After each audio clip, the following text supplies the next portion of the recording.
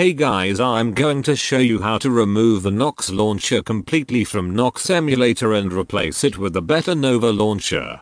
To begin, we're going to need to install 3 apps from the Play Store. Just fill in your account information if you're starting Nox for the first time. Now search for the app ES File Explorer and download it. Next, search for the app root browser by JRummy and install. Search for our final app Nova Launcher and install. You can use any other launcher around but Nova is the best one. Now we are going to enable root on Nox emulator. Go to the emulator setting by clicking the top right icon and check the box next to root. Also check these other two options.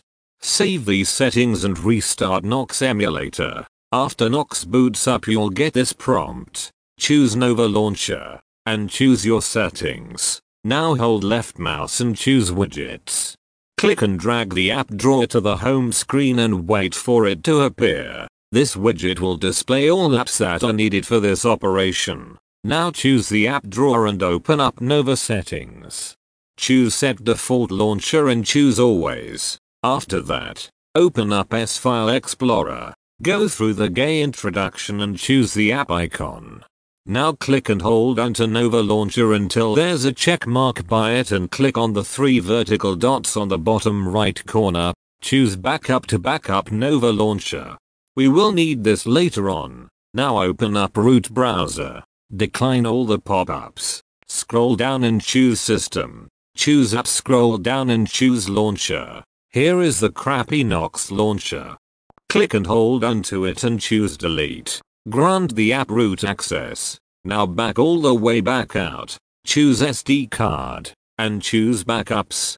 Click and hold into Nova Launcher and choose copy.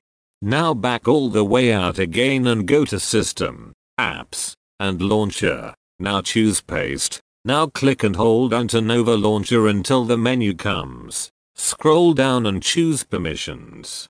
Check these boxes here, and choose OK. The letters under Nova Launcher should look like this. Now we can exit and restart Nox. Now when you boot up, you'll have Nova Launcher as default.